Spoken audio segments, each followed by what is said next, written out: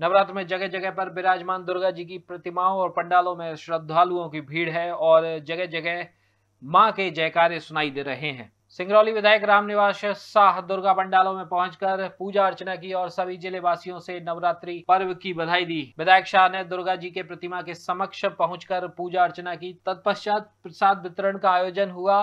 माँ के दरबार में भंडारे का भी आयोजन किया गया है। सभी को नवरात्र की हार्दिक शुभकामनाएँ। समस्त क्षेत्रवासी, समस्त सिंगरौली वासियों को जैसा कि नवरात्र का पर्व जो है, प्रत्येक वर्ष आता है, जिसमें हमारी जगत जननी माँ अम्बे का आगमन होता है और हर्षोल्लास के साथ हम समस्त लोग अम्बे माँ की पूजा करते हैं, प्रार्थना करते हैं, अर्चना करते हैं कि हे माँ, सारे विश्व का कल्याण करे, सारे जगत का कल्याण करे। माता रानी का यह जो नवरात्रि का समय है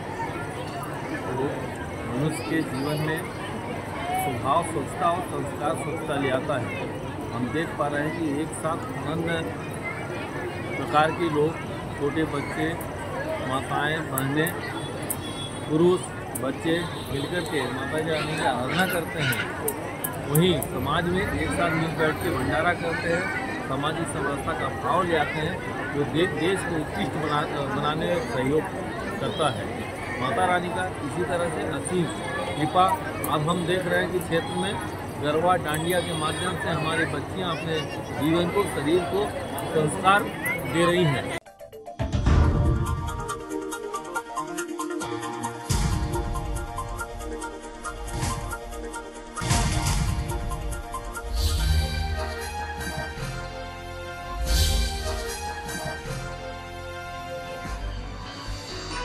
आप देख रहे हैं दखल न्यूज़।